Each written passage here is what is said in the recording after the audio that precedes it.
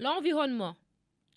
En cercle concentrique, l'environnement scolaire peut être circonscrit à l'environnement de la localité, à l'environnement immédiat et enfin à l'environnement interne. L'environnement. En cercle concentrique, l'environnement scolaire peut être circonscrit à l'environnement de la localité, à l'environnement immédiat et enfin à l'environnement interne. Une école se caractérise d'abord par son implantation, qui a des effets déterminants sur sa structure, son fonctionnement et donc sur son organisation. Selon qu'une école soit implantée au centre d'une grande ville, chacun de ces facteurs nécessite des actions, soit pour les mitiger, soit pour en faire bénéficier l'école dans son développement. Cet état de fait constitue pour le directeur un défi qu'il doit relever avec toute son équipe, étant entendu que la question est une affaire étant entendu que la question est une affaire de tout le monde.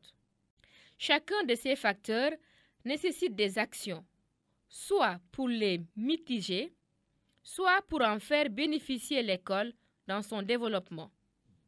Cet état de fait constitue pour le directeur un défi qu'il doit relever avec toute son équipe, étant entendu que la question est une affaire, étant entendu que la question est une affaire de tout le monde.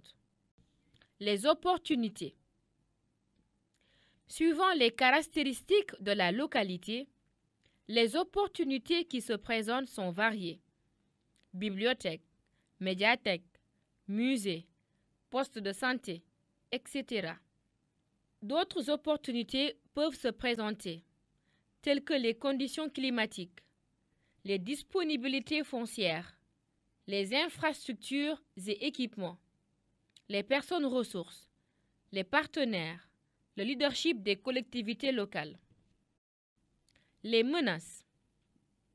Le constat est que le plus souvent les écoles de centre-ville sont anciennes et souffre d'un manque d'espace extérieur. Et l'accès à certaines structures sportives pose problème. Or, l'activité sportive est importante pour la santé des apprenants. Par contre, les écoles des zones semi-urbaines ou rurales souffrent d'infrastructures, murs de clôture, de classes construites, de points d'eau, etc. En outre, on peut noter d'autres menaces, telles que la chaleur, la dégradation du sol, la salinisation, l'érosion, l'accès à l'eau, l'insuffisance de réserves foncières, le déficit de personnes ressources, les représentations culturelles et sociales et parfois le faible engagement des collectivités territoriales. À cela s'ajoutent les conséquences dues au changement climatique, qui souvent occasionnent des inondations, des déplacements de population, de la dégradation des sols et des infrastructures.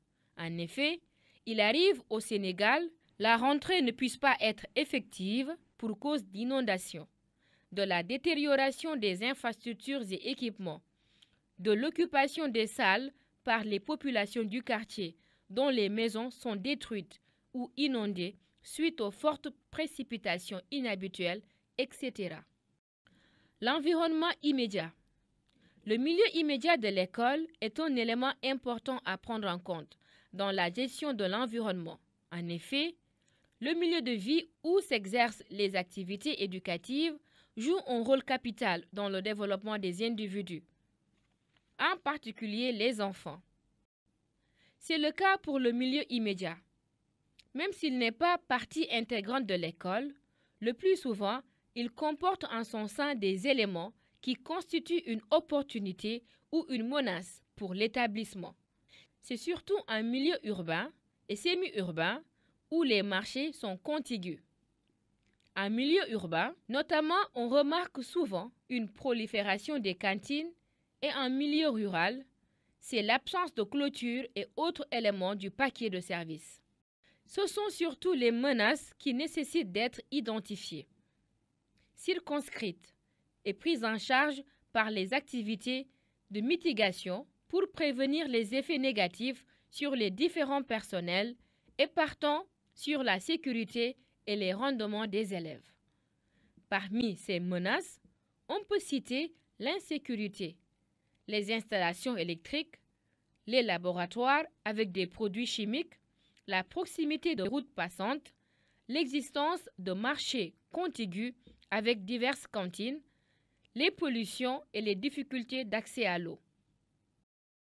L'environnement interne. L'école est un système complexe et évolue au sein d'un environnement qui, lui-même, est complexe. Cela se manifeste par l'existence de différentes composantes de l'environnement de l'école.